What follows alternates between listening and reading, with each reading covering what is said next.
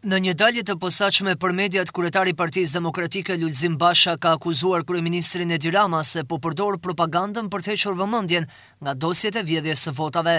Sipas tij, ata që janë shfaqur në përgjime ose vijojnë të qëndrojnë në të njëjtat detyra ose janë rritur në detyrë.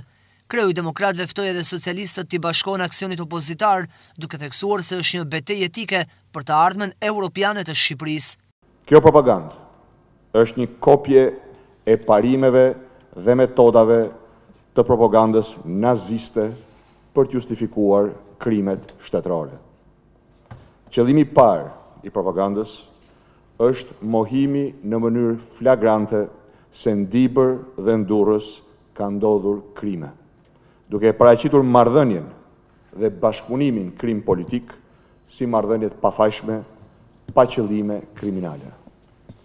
Me një arrogancë dhe shpërfillje ekstreme ndaj zgjuarsisë njerëzve, ndaj inteligjencës tuaj, bisedat për koordinimin e vjedhjes së zgjedhjeve mes kokave politike të vendit me vrasës dhe trafikantë, me banditë dhe oficerë policie, po shiten si biseda të pafajshme mes politikanëve me votues apo drejtuesve të qeverisë dhe vartësve të tyre. Koka e gjithë kësaj sipërmarrje kriminale, Edi Rama nuk ka denjuar as për sy e faqe të bëjë sikur distancohet apo sikur kërkon hetim.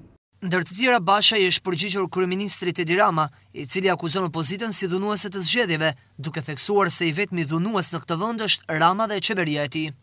Sulmohet opozita, deri edhe me akuza të montuara politike, që qytetarët të mendojnë se janë të gjithë njësoj dhe marrëdhënia mes vrasësve dhe trafikantëve me qeveritarët nuk është ndonjë tmerr i madh.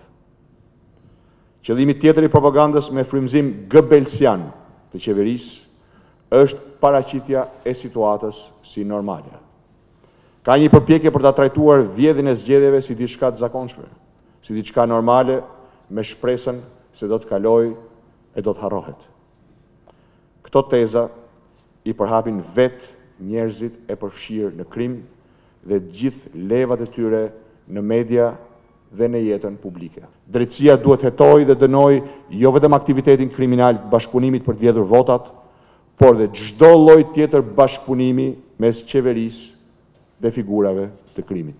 Kryedemokrati u shpreh se kriza ku jemi nuk është krizë që ka lindur nga shkaqe dhe procese politike, por sipas tij, Është një krizë e lindur nga shkaqe kriminale dhe nga procesi kriminal i bashkëpunimit të qeverisë dhe Partisë Socialiste nën drejtimin e Edi Ramës me krimin e organizuar.